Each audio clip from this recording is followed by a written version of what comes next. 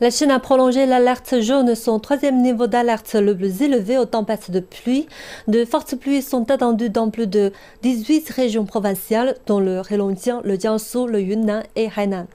À Xi'an, dans le nord-ouest de la Chine, deux personnes sont décédées et 16 autres toujours portées disparues. Après que des pluies torrentielles ont provoqué un éboulement de rochers et de boue dans la banlieue, endommageant des maisons et des infrastructures. Quatre victimes qui avaient été coincées ont depuis été mises en sécurité. Des opérations de sauvetage, d'aide aux sinistrés et de renforcement des berges sont en cours.